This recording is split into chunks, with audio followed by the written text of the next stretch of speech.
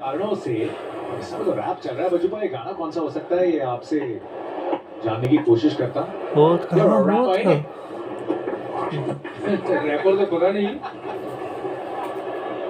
पर कभी कभार बाथरूम सिंगर बन जाते हैं हम। ये पंजाबी गाने में रैप करता है ये पंजाबी गाने बहुत सुनता है ये पंजाबी पुत्र है और पंजाबी गाने का बड़ा शौकीन है। ये देखिए विराट कोहली ने कप्तानी ज़रूर छोड़ी थी। पिछले साल वो उनका माइंडसेट क्या था, क्या नहीं, ये मैं पता नहीं पर अब मुझे लगता है कि अगर इनको पूछेंगे तो इनको करनी चाहिए कप्तानी। इनसे बड़े कद का खिलाड़ी आरसीबी में कोई भी नहीं मिलेगा।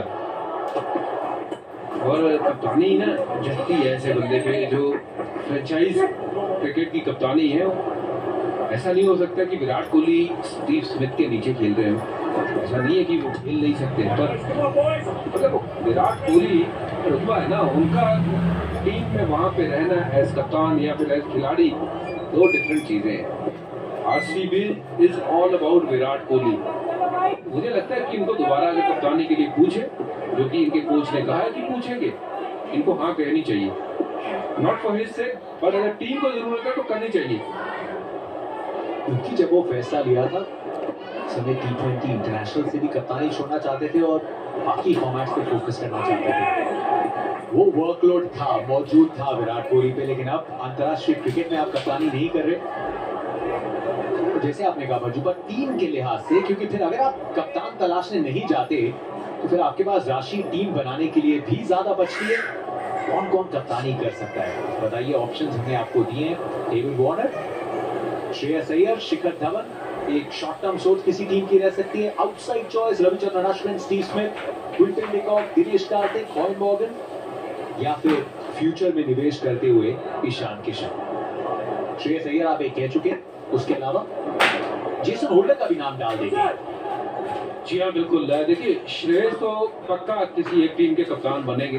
इसमें कोई दो राय नहीं है। और मैं सरप्राइज़ नहीं होऊँगा इस चीज़ से कि अगर ईशान किशन चले जाते हैं कलकत्ता में या फिर के तो ईशान किशन जैसा भी खिलाड़ी जो है, वो कप्तान अपनी टीम बनानी है आगे के लिए फ्यूचर के लिए, अगले तीन साल के लिए। तो एक ऐसे कप्तान में आप इन्वेस्ट करो जो यंग हो, और ईशान किशन ऑलरेडी झारखंड की कप्तानी करते भी हैं। तो मैं अगर वहाँ पे ये दोनों टीमों में कहीं काम कर रहा होता चाहे कलकत्ता नाइट राइडर के साथ या साथ या फिर किंग्स इलेवन के साथ। तो मैं इनके नाम पे गौर फरमाता पक्की बात है। चाहे मुझे श्रेयस अय्यर मिलते या फिर शान किशन मिलते, मैं इनके लिए तैयार होकर बैठता कि ये दोनों में से मुझे एक कप्तान चाहिए। अगर नहीं मिलेंगे तो फिर डेविड वार्नर की तरफ़ मैं रुक अपनाता पर पहले मेरी कोशिश होती कि मुझे इंडियन कप्तान मिले। 2726 रने टी ट्वेंटी करियर।